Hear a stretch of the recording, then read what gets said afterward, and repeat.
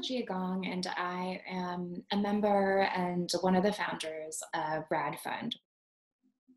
Fundamentally, um, Radfund is a group of friends.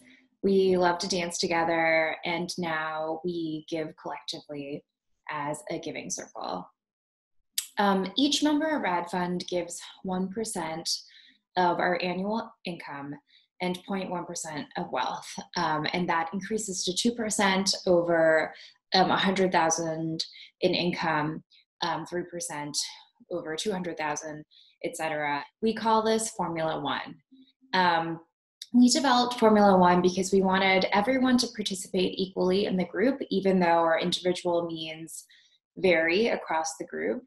Um, we also all share the belief that those with more income and wealth should give more. Um, we give to groups and individuals in New York City who are organizing to challenge structural inequality and to fight for racial and economic justice. We meet approximately once a month and have an annual giving cycle. So we give once a year. And we meet um, not only to discuss giving, but also to discuss social justice issues in New York more generally. Um, in that way, Radfund really serves as a political home for many of us and a way to connect on these issues um, in an intentional space through the Giving Circle.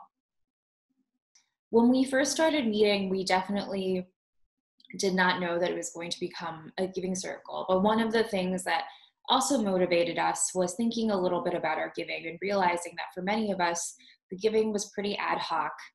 Um, you know, we were giving in small random amounts when friends asked us to, but that we didn't have, uh, we weren't being intentional about how we were giving and um, thinking about how we could leverage the collect- collective possibility of giving with others. Um, so that's what started us to get us to start meeting and talking about ways that we can contribute. Um, and ultimately, those conversations led us to building Rad Fund. I love being a part of Radfund because it is so fun to organize and push for a better world through giving with friends.